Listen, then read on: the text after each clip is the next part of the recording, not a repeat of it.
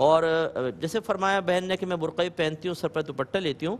लेकिन बहरहाल आपकी एक फ़ील्ड ऐसी है कि इसमें यकीन डॉक्टर्स भी होते हैं दीगर उनसे गुफ्तु भी करनी होती है, और हर जगह आदमी सख्त लहजा इख्तियार नहीं कर सकता कि हमारे उर्फ़ में उसको एक बदअलाकी से ताबिर करते हैं।